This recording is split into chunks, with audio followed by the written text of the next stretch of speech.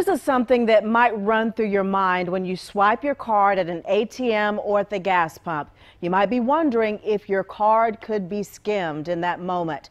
Reporter Dave Faherty is live for us tonight in Hickory, where someone just used stolen card information at three ATMs to steal thousands of dollars. And Dave, you say the victims at first didn't even know that they had been compromised until their bank accounts sent them alerts.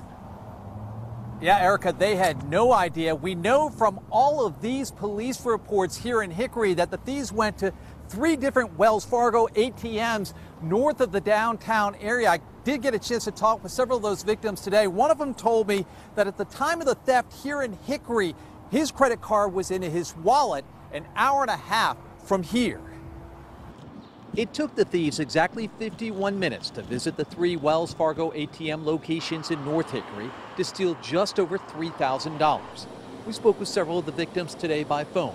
All of them live in the Asheville area and had no idea about the thefts until it was too late. The card was actually in my wallet, so it was not stolen. I have no idea how they would have been able to duplicate my card and create a PIN and be able to withdraw cash.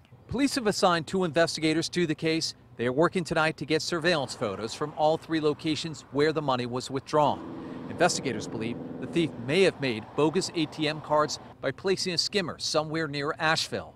The accounts all came back to Telco Credit Union in Buncombe County. We visited the Hickory location today where Tessa Ramsey says she takes precautions. I actually have a daily reminder um, that comes up text message, lets me know kind of what's going on. According to the North Carolina Department of Consumer Standards, 23 skimmers were found on different gas pumps in the first quarter of 2019 statewide. Those numbers are up from just five cases during the same first three months last year. Lewis Walker says he doesn't take any chances with his account and closely guards his personal information. I most definitely do. I check my, my account balances online most of the time, and, and I'm always, you know, worried about, about those type of situations. And we reached out to Telco Credit Union over in Asheville to see if they've had any reports of possible skimmers over there or skimmers on any of their equipment. Tonight, Scott, they are not commenting about this investigation. Back to you.